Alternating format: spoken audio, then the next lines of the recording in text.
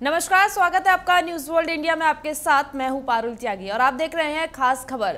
देश में कोरोना की तेज रफ्तार अब बहुत ज़्यादा डराने लगी है। हर दिन कोरोना को लेकर रिकॉर्ड टूट रहे हैं और मौतों की संख्या में भी बड़ा इजाफा हो रहा है। भारत में कोरोना के मामलों ने गुरुवार को अब तक के सारे रिकॉर्ड तोड़ दिए हैं और बहत्तर से ज़्यादा नए केस दर्ज किए गए हैं। यहाँ हैरान करने वाली बात यह है कि एक अक्टूबर के बाद, यानी कि पाँच महीने बाद, कोरोना के मामलों में इतना उछाल देख देखने को मिला है। देखिए ये खास रिपोर्ट। कोरोना की रफ्तार बेकाबू। हर दिन टूट रहा रिकॉर्ड। अप्रैल में अक्टूबर जैसा हाल। महाराष्ट्र का हाल हुआ बेहाल। कोरोना संक्रमण की दूसरी लहर भारत में तेज़ी से फैल रही है। नतीजा ये है कि देश में सितंबर अक्टूबर जैसा हाल हो गया है।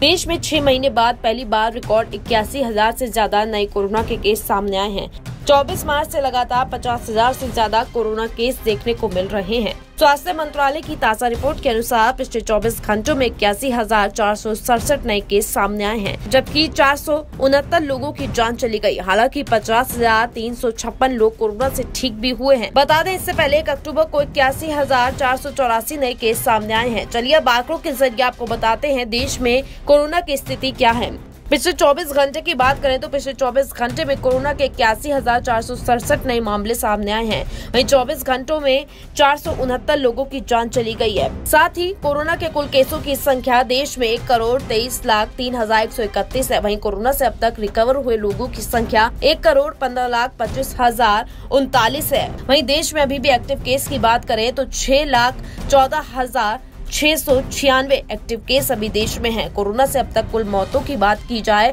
तो एक लाख तिरसठ हज़ार तीन सौ छियानवे लोगों की अब तक जान जा चुकी है आपको बता दें कि होली से पहले कई राज्यों में कोरोना के मामलों में तेज़ी दर्ज की गई थी, लेकिन अब होली के बाद हालात बेकाबू हो गए हैं। सबसे बुरी हालत महाराष्ट्र की है, जहाँ बीते दिन रिकॉर्ड तिरालीस हज़ार ऐसी ज़्यादा केस सामने आए। कोरोना की शुरुआत से लेकर अब तक किसी भी एक राज्य में एक दिन में इतने केस दर्ज नहीं किए गए। चिंता की बात यह है की सिर्फ़ पुणे और मुंबई में ही आठ आठ हज़ार ऐसी ज़्यादा केस दर्ज किए गए हैं। महाराष्ट्र में हर दिन के साथ ही कोरोना की रफ्तार बढ़ रही है।